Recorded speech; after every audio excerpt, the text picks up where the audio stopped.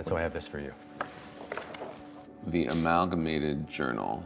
They found this bulletin in which my great grandfather, P.J. McArdle, he was essentially a union leader, and my great grandfather wrote this phrase May it live long and prosper. Will what?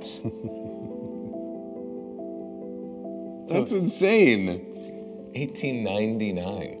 The fact that 115 years later or something, I would get cast as a character who was known for that very phrase. There was something about it that felt bigger than me.